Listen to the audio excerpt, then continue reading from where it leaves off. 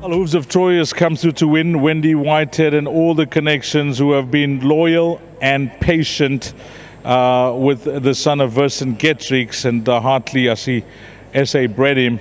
They are being rewarded in a big way now. And so is this gentleman on my right, Ayanda. He had to wait for a long, long time for this thousand rand. And you may have been wondering, when am I going to get my thousand rand with my horse?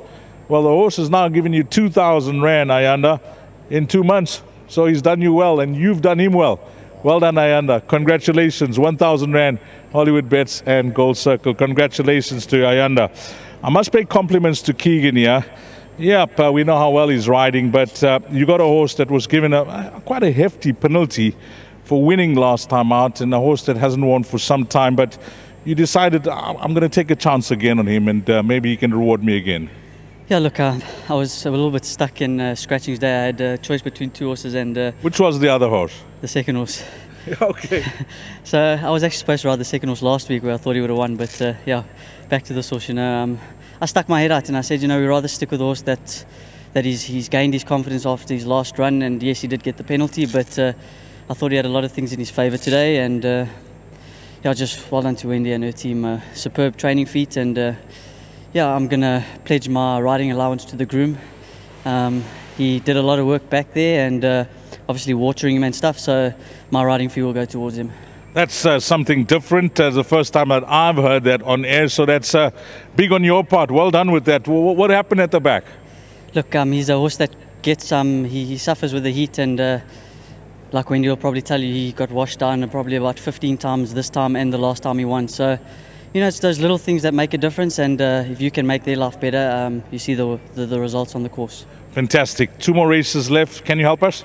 Look, I thought um, Maximus. Um, I, I, th- I, think it's quite a competitive field. Um, I thought this horse was probably my best um, today, so I'm glad he's out the way and. Uh, the heat uh, didn't get a little bit hotter. So I'm just very pleased this one's over. And uh, yeah, I thought Maximus has got a small chance, but it is a very competitive field. I thought the whole card today was pretty hard. Just for the, the racing public out there, Princess Joe, you want to give some feedback?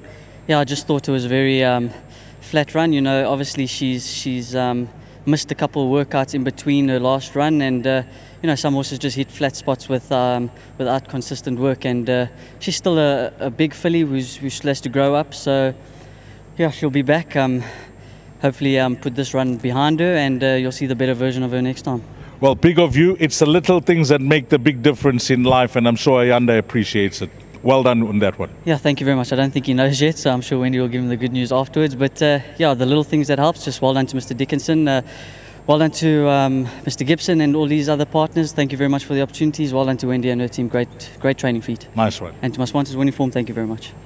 Great guest uh, from uh, Keegan, and uh, you're going to tell us a bit more about you know the happenings uh, which we're not privy to. Getting a horse into the parade ring before even the races. What can go wrong? What needs to be done? And this horse gave you a bit of a headache. You know, Dees, he's had heat fatigue three times, and as you know, today the the weather is extremely hot.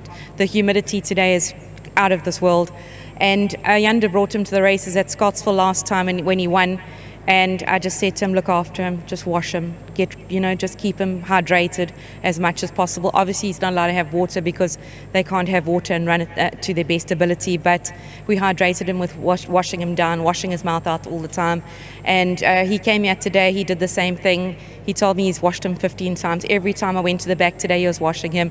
I just want to say a big ups to them you know, you've, you, we've all got teams behind us, and if mm. we hmm. don't have those people looking after these horses and giving them special care, especially a horse like him, um, you don't get the results. I just want to say very well done to Ayanda for looking after him so good. Well done to Patrick. Well done to Jan Scholz, Peter Gibson, um, Dave Schutz, and uh, Tony Dickinson. Unfortunately, he couldn't get here today. But um, thanks for all your patience, and now this horse is really reaping the rewards. And top, top, top ride from Keegan.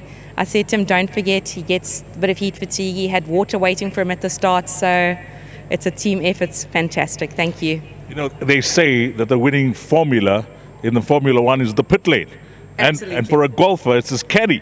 so, I mean, I wonder, wow. It's my team. It's they stars. Thank I, you. I was lost for a word to describe him when he was walking around, and I said he looks like a bodybuilder because he gives me that impression, this horse. You know, um, he, he's a big horse, and I always think to myself, gosh, he's so fat. But you must remember, Yeah. these old horses, they carry condition and they can race week after week, and they absolutely love it. He's as fit as a fiddle, he doesn't do much work in between, and he loves life. Well, it's, it's amazing, you know, you had to wait so long yourself, the team, the connections, and he's rewarded you back to back. I must pay compliments to you, Wendy. Thank and you. you speak about the weather, which is hot. Well, none hotter than Wendy Whitehead. Well done, here, Wendy. Thank you so much. Well done to Wendy. Yeah, her stable's in good form. Our horses are looking well and they're running accordingly.